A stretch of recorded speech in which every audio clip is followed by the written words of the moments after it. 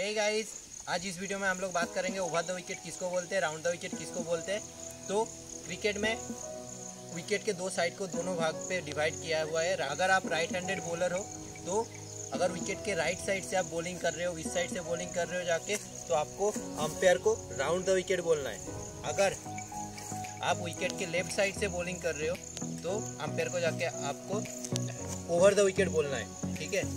ऐसे ही है एग्जैक्ट ऑपोजिट है। लेफ़्ट हैंडर के लिए। लेफ़्ट हैंडर के लिए आपको ये ओवर द हो गया।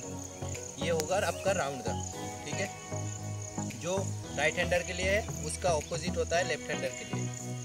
अब बात करेंगे, आपको मैचेस के स्टार्टिंग टाइम पे ओवर द विकेट बॉलिंग करना है कि राउंड द विकेट बॉलिंग करना है?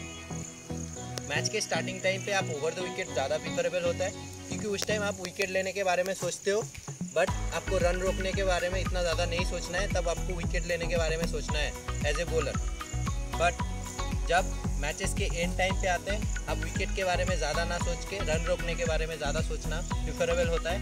तो इस टाइम आपको राउंड द विकेट बॉलिंग डालना है। राउंड द विकेट बॉलिंग डालने से क्या फ़ायदा होगा? ये राइट हैंडेड के लिए बता रहा हूँ। Okay most of the tennis player क्या करते हैं? जो भी बैट्समैन होता है बॉल देख के लाइन पे हिट कर देते हैं। अगर आप राउंड द डालते हो, थोड़ा एंगल बना के राउंड द विकेट से डालोगे तो बॉल भी एंगल पे निकलेगा। तो बॉल जब एंगल पे निकलेगा लाइन नहीं होल्ड करेगा बैट्समैन के आउट होने के ज़्यादा चांसेस होते हैं। और एक चीज़ याद रखना, अगर आप राउंड द विकेट से डाल रहे हो तो थोड़ा एंगल वाला के बॉल भी डालने का ट्राई करना। बॉल अगर ऐसे करके डालते हो तो थोड़ा ऐसे करके डालने का ट्राई करना। राइट हैंडर के लिए लेफ़्ट हैंडर के लिए थोड़ा ऐसे करके डालने का ट्राई करना। तो ये एंगल होल्ड कर लेता है बॉल तो वही चीज़ आप फ़ायदा भी उठा सकते हो। तो आपको बताता हूँ राउंड द विकेट अगर बॉल करते हो तो आपको कैसे करना है? तो इधर आप देख सकते हो, मैं राउंड द विकेट बॉलिंग कर रहा हूँ एंड राउंड से थोड़ा एंगल बना के आके बैट्समैन को थोड़ा एंगल से बॉल छोड़ रहा हूँ ताकि एंगल होल्ड करे और बैट्समैन क्रॉस चलाने के चक्कर में आउट हो जाए। तो इधर भी यही हुआ।